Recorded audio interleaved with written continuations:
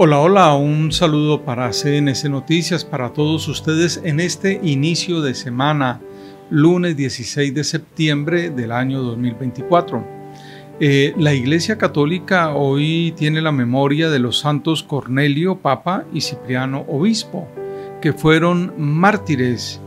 Eh, entregaron su vida porque reconocieron la esencia, la gracia, la verdad del Hijo de Dios en la tierra.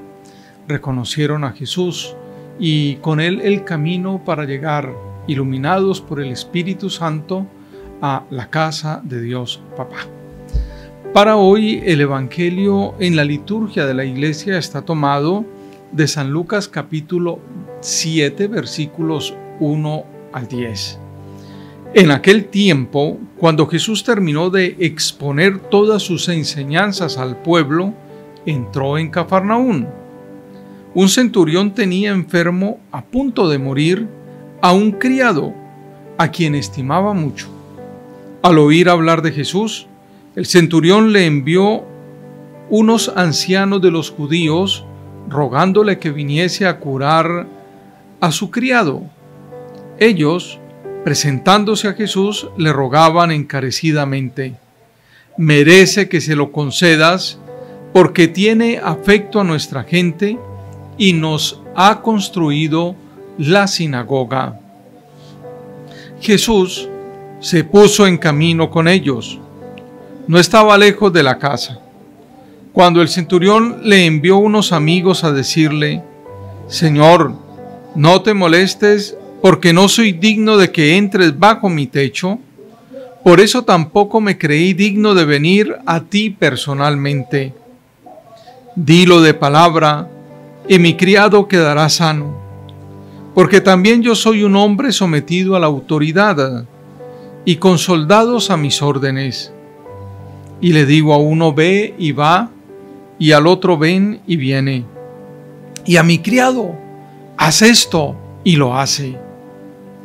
Al oír esto, Jesús se admiró de él y volviéndose a la gente que lo seguía, dijo, les digo que ni en Israel he encontrado tanta fe. Y al volver a casa, los enviados encontraron al siervo sano.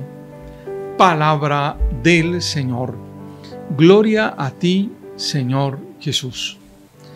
Junto con la vida de Cornelio, y Cipriano, eh, que reconocieron la presencia de Dios en sus propias existencias, vemos a este hombre que no tenía la fe judía, era un pagano, y aún así creyó en la presencia del Señor. ¿Cuánto ejemplo nos dan muchas personas que nosotros creemos que son alejados de Dios? ¿Cuánto ejemplo nos dan en la confianza que depositan en ese Hijo de Dios. Y nosotros a veces nos alejamos de Dios, dudamos de Dios, renegamos de Dios, peleamos con Dios según las circunstancias o en las enfermedades o en la muerte de un ser querido o en algún fracaso económico, en tantas cosas. Y le echamos a Dios la culpa de muchas de nuestras circunstancias que hemos buscado nosotros mismos, nos las han buscado otras personas o por el devenir de la vida y de la materia, pues se nos presentan.